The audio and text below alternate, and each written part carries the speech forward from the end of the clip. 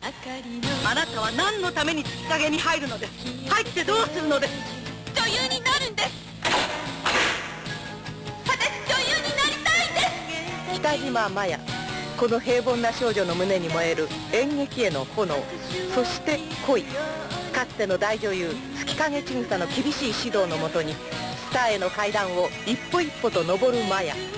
ガラスの仮面今晩7時。お楽しみに。